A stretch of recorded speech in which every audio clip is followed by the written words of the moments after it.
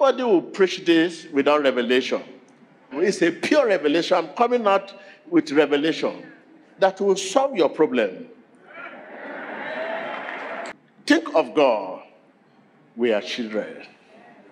If we are children of God, what is the position of a child to the father? Too, too dependent. Too, too dependent. When you want to talk, Jesus before you talk.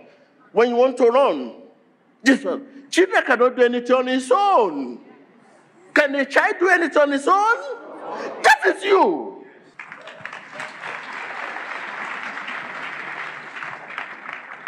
That is you. It's a deep revelation. People have gone astray in the world. Too, too dependent upon Him.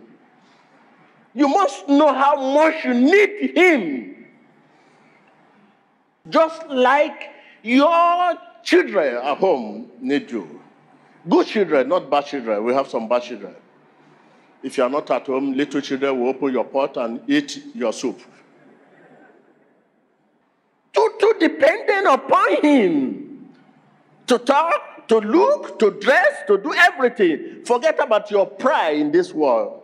The honor you receive from your children, from your, your member, will call you hey, prophet, bishop, this, that, general overseer. Mm, I don't. Sometimes when I'm going, you call me general overseer of the synagogue. I don't listen to you because I know vanity upon vanity. The general is in heaven, I'm not the general. I know you want to kill me. Not only should we know God as our sovereign Lord, we should know Him like children know their father. Do you actually know him like children know their father?